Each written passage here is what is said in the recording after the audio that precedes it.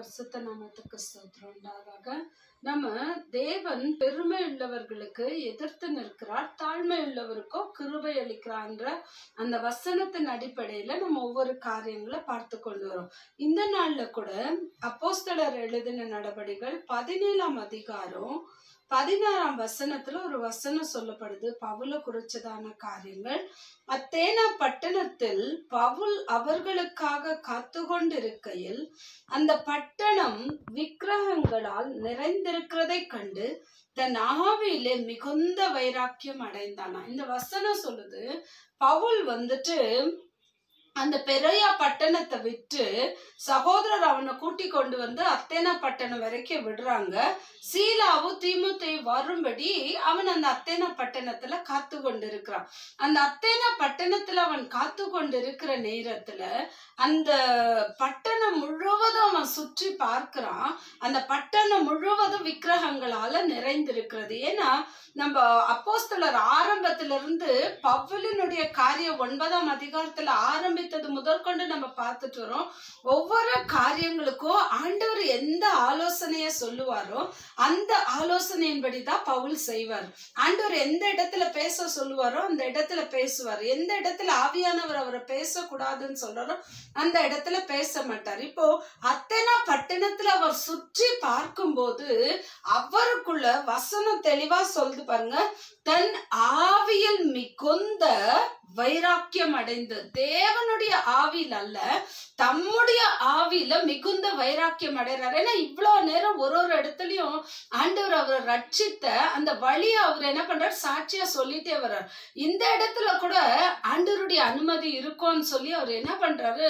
தன்னுடைய சொந்த என்னால முடியும் நான் சொல்லிட்டு இருக்கேன்ல எல்லா இடத்துலயும் சாட்சி சொல்றேன்னு. இந்த இடத்துலயும் அவர்களுக்கு தேவனை பற்றி சொல்லி தரலான்னு சொல்லி அவர் என்ன பண்றாரு? அந்த அத்தேனா பட்டணத்தாருடைய ஜனங்கள் இடத்துல பேசும்படியா தன்னுடைய ஆவியில தேவ ஆவியில நான் அந்த இடத்துல குறிப்பிடப்படல. தன்னுடைய ஆவியில வைராக்கியம் கொண்டு பேசும்படியா போனார். அப்ப அவரை எங்க கொண்டு போய் நிக்க வச்சாங்கன்னு சொன்னா அந்த மார்சா மேடையின் மேல நிக்க வைக்கிறாங்க.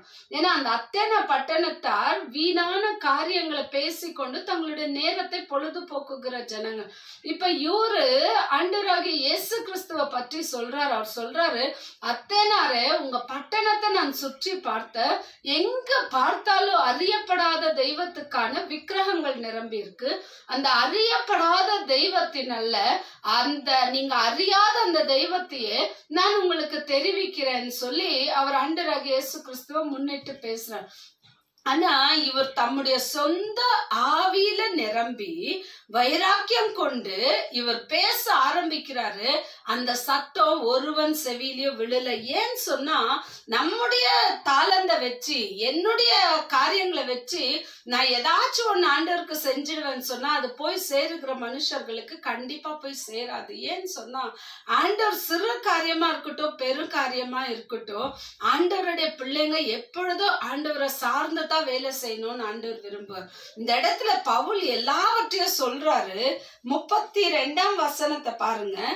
மரித்தோரின் உயிர்த்தெழுதலை குறித்து அவர்கள் கேள்விப்பட்ட போது சிலர் இகழ்ந்தார்கள். சிலர் நீ சொல்லுகிறத இன்னொரு வேளை கேட்போம் என்றார்கள்.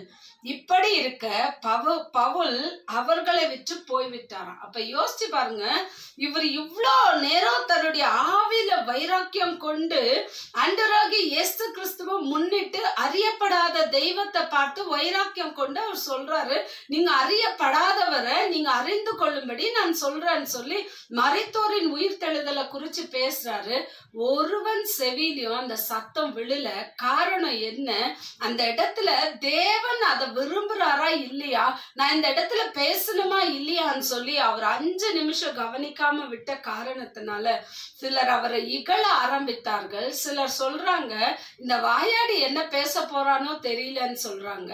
அது மாத்திரம் இல்ல நீ சொல்றத இன்னொரு வருஷம் சொல்லுப்பா நாங்க கேட்குவோம்னு சொல்றாங்க. அப்போ ஒருவனுடைய செவிலையும் ஒருவனுடைய இருதயத்திலையும் ஒருவனுடைய கண்களிலையும் அது போய் சேரல. தேவன் வந்துட்டு நான் வேதம் சொல்லுது உணரத்தக்க இருதயத்தையோ கேட்கத்தக்க செவிகளையோ காணத்தக்க இருதயத்தையோ ஜனங்களுக்குள்ள கொடுக்கிறவர் யாருன்னு சொன்னா ஆண்டவராக இயேசு கிறிஸ்து அதே போல அதே அப்போஸ்தல பதினெட்டு அதிகாரத்துல ஒன்பது பத்து வசனங்களை படிச்சு பார்த்தோம்னாக்கா ராத்திரியிலே கர்த்தர் பவுலுக்கு தரிசனமாகி நீ பயப்படாமல் பேசு. இந்த இடத்துல ஆண்டவர் சொல்லல. பதினேழாம் அதிகாரத்துல ஆண்டவர் சொல்ல அவர் தம்முடைய தம்முடைய வைராக்கியத்துல தம்முடைய ஆவியின் வைராக்கியத்துல அவர் பேசுறாரு ஒரு காரியமும் அந்த இடத்துல நடக்கல. இங்க ஆண்டவர் சொல்றாரு நீ பயப்படாமல் பேசு மௌனமா இராது. நான் உன்னோட கூட இருக்கிறேன். உனக்கு தீங்கு செய்யும்படி ஒருவனும் உண்மையில் கை போடுவதில்லை. இந்த பட்டணத்தில் எனக்கு அநேக ஜனங்கள் உண்டு என்று சொல்றாரு. அப்ப யோசிச்சு பாருங்க ஆண்டவர் எந்த இடத்துல பேச சொல்றாரோ அந்த இடத்துல பேசுவோம். ஆண்டவர் எந்த இடத்துல மௌனமா இருக்க சொல்றாரோ அந்த இடத்துல மௌனமா இருப்போம். காரணம் என்ன? நம்முடைய தாளந்து நம்முடைய ஞானம் நம்முடைய படிப்பு நம்முடைய காரியங்களை வச்சு நாம ஒரு காரியத்தை செய்ய முடியாது ஒரு மனுஷனுடைய இருதயத்தை திருப்ப முடியாது. மாறா தேவனுடைய கிருபைக்கு காத்திருந்தா எவ்வளவு பெரிய மனுஷனா இருக்கட்டும்ங்க. எவ்வளவு பெரிய ஊழிய செஞ்சவங்களா இருக்கட்டும் எப்படியாப்பட்டவங்களா இருந்தாலும் ஆண்டவருடைய காரியத்தை செய்யும் போது அவர் அனுமதி கொடுக்கும் போது நம்ம செஞ்சோம்னு சொன்னா அந்த ஊழியத்தின் பாதை ரொம்ப பிரம்மாண்டமா இருக்கும். இது மாத்திரம் இல்ல இதே பவுலு இந்த இடத்துல இகழப்பட்டாரு. ஆனா ஆண்டவர் சொல்ற இடத்துல அவர் பேசும்போது அவர் பெற்றுக்கொண்ட ஆசீர்வாதம் எதுன்னு சொல்லி நம்ம தொடர்ந்து நாளைய தினத்துல பார்க்கலாம். நம்ம தேவன் தாமே இந்த வார்த்தைகளை ஆசிர்வதிக்கட்டும். தேவன் எந்த காரியத்தை செய்ய சொல்றாரோ அந்த காரியத்தை செய்யுங்க. தேவன் எதை வேண்டான்னு சொல்றாரோ அதை நாம் செய்யாமல் இருப்போம். தேவன் தாமே உங்களை ஆசிர்வதிப்பாராங்க இரக்கத்தில் ஐஸ்வர்யமுள்ள தகப்பனே இந்த வார்த்தைக்காய் இந்த நாளுக்காய் நன்றி தகப்பனே. இந்த வார்த்தை ஒவ்வொருவருக்கும் ஆசீர்வாதமா இருக்க என் தேவன் கிருப செய்யுங்க. இயேசுவின் நாமத்துல ஜபிக்கிறோம். நல்ல பிதாவே. ஆமென் ஆமென்.